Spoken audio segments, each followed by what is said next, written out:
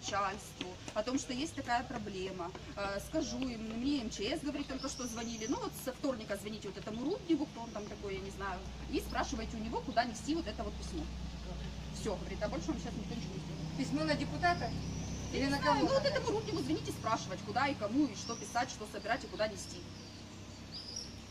Слушайте, Ну, сейчас никому ничего не надо, понимаете, никому ничего. Ты хоть тут, пока не убьет, как тогда сказала они милиция, тогда по- сказали, трупа пока он чего никого не А убьет, то, что он с ножом его, по не, ему ничего по не дадут, так ему и так ничего не с сделают, ножом. говорит этот самый полицейский, потому что он неадекватен, скажет состояние эффекта. А я спрашиваю, а если я его ударю вот этой клюкой А металлической, потому что он Конечно. среди ночи выламывает двери, а вас посадят. Да. Вы адекватная. ничего А